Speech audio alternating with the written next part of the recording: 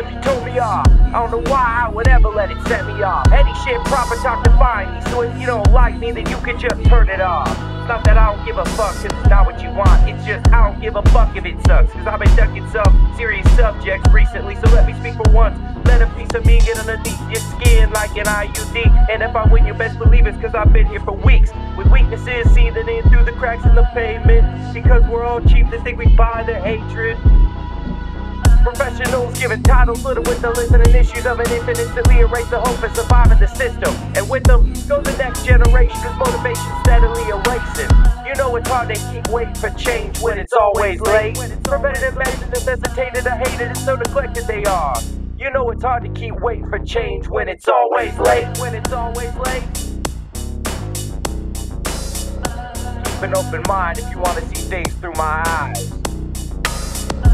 They've been cutting crops like barley. It's sad to see the way the media treats the Marleys. Bob brought Jamaican to my generation. Now they acting like YG, the first one to make it. They're forgetting the history, and now the white kids are faking like they've been with it since the very first day. What a couple of bitches, and I'm one of them. What a situation to be dumber than the sum of them. Because I'm an enabler and able to have fun with them. I screw aside the lies to try and open eyes with nothing in them. And some of them will listen, but most of them will get distant. Call you a lived hard or woke just for trying to listen to the other side.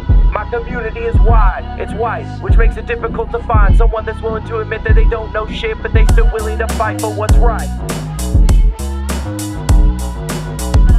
Keep an open mind if you want to see things through my eyes.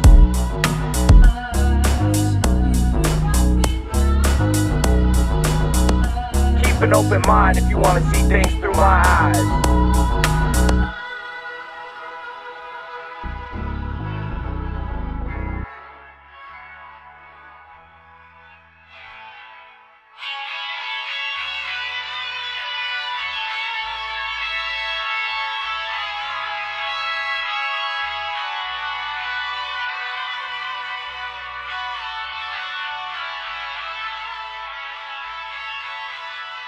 Keep an open mind if you want to see things through my eyes.